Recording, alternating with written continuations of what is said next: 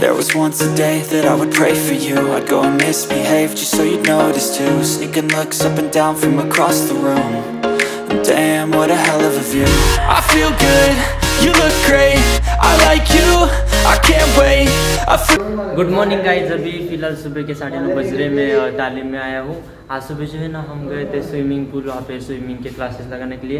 आज पैसे भर दे कल से जाएँगे।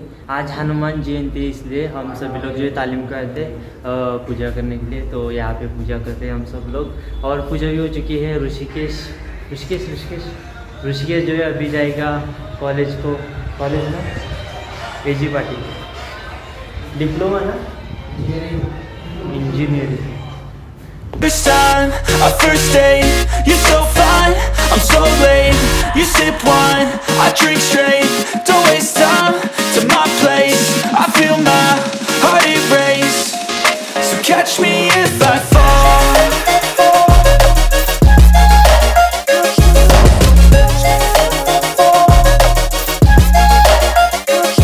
अभी सब लोग जा रहे हैं अपना अपना काम करने के लिए और हम भी चलते हैं घर डायरेक्ट और घर जाके अ, पढ़ाई करेंगे सीटी की और ड्राइंग भी करेंगे और देखते क्या क्या करेंगे अभी चलते हैं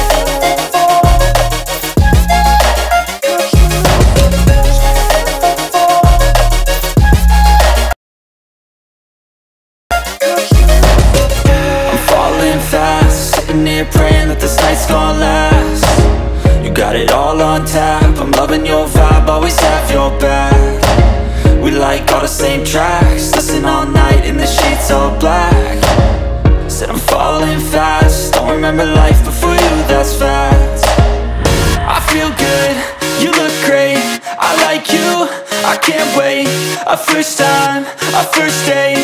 You're so fine, I'm so late. You sip wine, I drink straight. Don't waste time to my place. I feel my heart it erase So catch me if I fall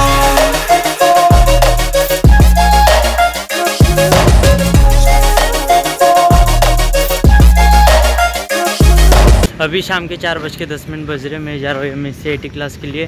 late हो चुका है। चलते। बाद में बात करेंगे।